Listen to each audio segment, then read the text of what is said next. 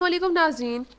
इस वक्त Kurulus Osman series के सीज़न फाइव का बाकायदा तौर पर आगाज़ हो चुका है। उसकी पहली दो किस्तें भी रिलीज़ हो चुकी हैं और उनमें हमने देखा कि अलाउद्दीन बे और हरान गाजी दोनों बड़े हो चुके हैं और वो अपने अपने वजीफ़ों में मसरूफ़ हैं। साथ ही साथ उनकी लव स्टोरीज का भी इस वक्त बड़े ज़ोर शोर से आगाज़ हो चुका है। उन्होंने अलाउद्दीन बे की जो लव स्टोरी है, वो गौचा खातून के ज़रिए शुरू की है और साथ ही साथ अरहान गाजी और होलोफिरा खातून की भी लव स्टोरी का आगाज़ हो चुका है। तो आज हम इन दोनों में से सबसे पहले अलाउद्दीन बे और गौचा खातून के मुतलिक बात करेंगे। बहुत से मदा ये समझ रहे हैं कि आने वाले वक्तों में अलाउद्दीन बे और गौचा खातून की शादी हो जाएगी और वही उनकी शरीक हयात बनेगी। मगर आज हम इस मामले में सीरीज़ के ऊपर नहीं जाएँगे, बल्कि हम तारीखी जराए में देखेंगे कि क्या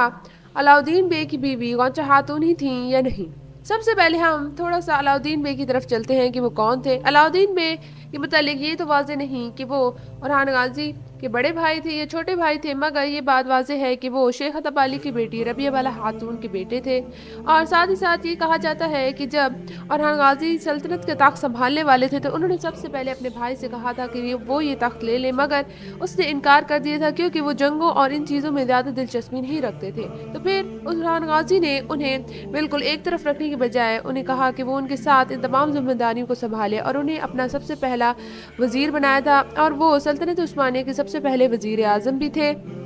उन्होंने बहुत सी ऐसी चीज़ें की थी जो 600 साल तक जब तक सल्तनत उस्मानिया कायम रही, चलती रही, जिसमें से सबसे बड़ी चीज़ थी, यानी चेरी फौज, यानी जानिसारियों की जो फ़ौज थी, वो भी अलाउद्दीन बे का ही कमाल था। उन्होंने ये फ़ौज इसलिए बनाई थी ताकि जब भी बगावतें सुल्तान के ख़िलाफ़ उठी जाती हैं तो उनके खिलाफ़ लड़ने के लिए और सुल्तान के पास अपनी एक फ़ौज मौजूद हो। और ये यानी चेरी फ़ौज उन लोगों से मिली, मिलकर बनी थी जो ज़्यादातर तो ग़ुलामों के तौर पर उस्मान गाजी और गाजी के कब्ज़े में थे और साथ ही साथ जो शहीद शहीदों के बेटे थे, उन्हें भी चेरी फौज में शामिल कर दिया जाता था। क्योंकि इन तमाम के मतलब ये कहा जाता था कि ये सुल्तान के बच्चे हैं। सुल्तान अपने हर हफ़्ते में से एक दिन इनके साथ जाके गुजारता था, इनके मसलों और मुश्किलों को देखता था और साथ ही साथ इनके साथ अपने खानदान की तरह सलूक करता था।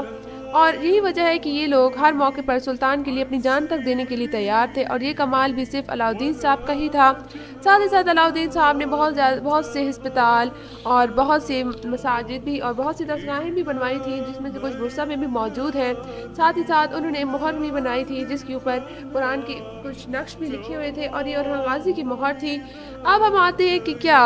अलाउद्दीन साहब की जो बीवी थी, वो याकूब साहब की बेटी थी। वैसे तो उस्मान गाजी और जरमियान इमारत के आपस में कुछ झगड़ों के मतलब तो तारीख में आए हैं कि उनके आपस में कुछ झगड़े वगैरह तो थे मगर अभी तक उसके मतलब हमें कहीं पर भी ये नहीं मिला कि उस्मान गाजी और याकूब साहब के जब ये झगड़े ख़त्म हुए तो बाद में क्या उनके दरमियान एक ताल्लुक कायम हुआ था जो कि ये सीरीज़ में एक तरीके से अभी तो नहीं पता कि ऐसा होगा सीरीज़ में भी कि नहीं। जो अब हम सीरीज़ में देखने के बाद कुछ ख्याल आ रहे हैं कि शायद ये रिश्ता कायम हो जाएगा वो तारीखी तौर पर तो कहीं भी, भी नहीं है। अब सबसे पहले तो ये देखें कि क्या याकूब साहब की बेटी गौंचा थी कि नहीं थी। तारीख में हम चाहे जितने भी गहरे चले जाएँ तो याकूब साहब के मतलब भी जो हमारे पास मालूम हैं, वो एक तो कम है, मगर उसके बावजूद उनके बेटे का ज़िक्र आया है, मगर उनकी बेटी का ज़िक्र हमें कहीं पे भी नहीं मिला।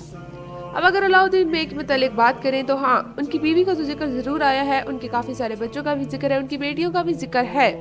मगर उनकी जो बीवी है, उसके नाम के मतलब तो अभी वाजे नहीं कि उनका नाम क्या था, मगर वलाद में जो थे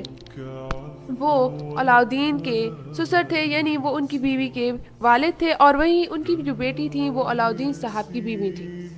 अब अलाद बे के मतलब चले तो उनके मतलब हमें ये कहा जाता है कि एक तरीके से तो वो और गाजी के साथ खड़े होने वाले उन तुर्क कबाइलों में से एक सरदार थे।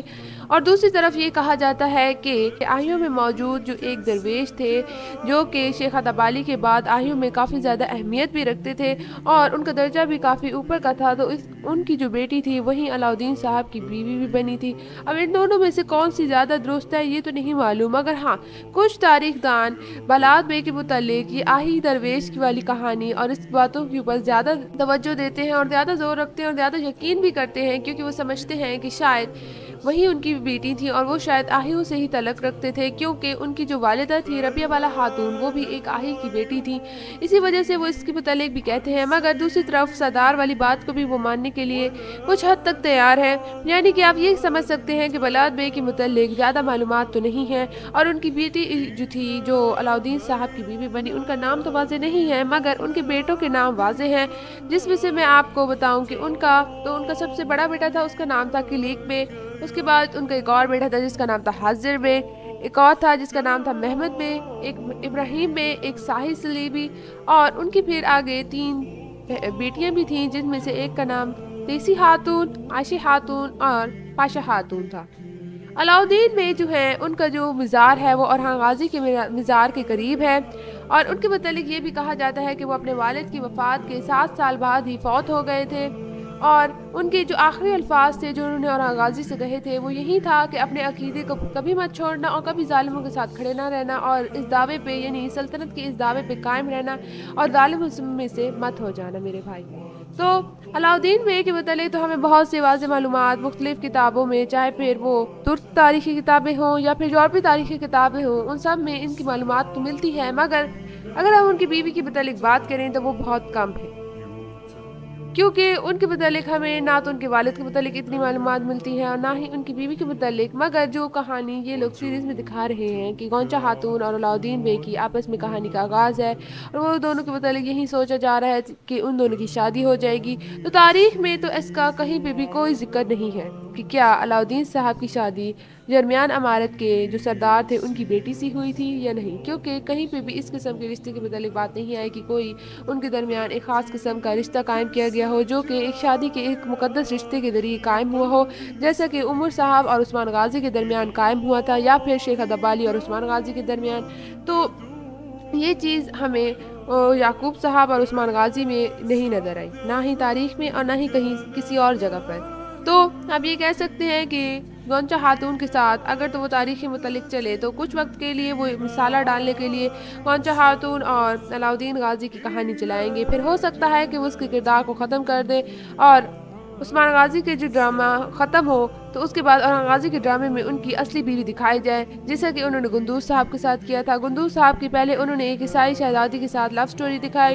उन्होंने और गाजी की भी छोटी बहुत लव स्टोरी एक ईसाई बच्ची के साथ दिखाई थी, मगर फिर जो ही उस्मान गाजी के अपने ड्रामे का आगाज़ हुआ तो गुंदूस बे की अपनी बीवी आयशा हातून को दिखाया गया था और उस्मान गाजी की फिर जो कहानी है वो बाला हातून और मलून हातून के ज़रिए शुरू हुई थी। तो आज के लिए बस इतना ही। उम्मीद है कि आपको और उस्मान गाजी के बेटे अलाउद्दीन बे की जो बीवी थी या अलाउद्दीन की जो अपनी तारीख थी, उसके मतलब जो भी शक शुबात थे, वो अब दूर हो चुके होंगे। इस वीडियो को देखने के लिए आपका बहुत बहुत शुक्रिया। इस वीडियो को लाइक भी कर दीजिएगा, इस वीडियो को शेयर भी कर दीजिएगा, मेरे चैनल को सब्सक्राइब भी कर दीजिएगा। आपका वीडियो देखने के लिए शुक्रिया और अल्लाह हाफिज़।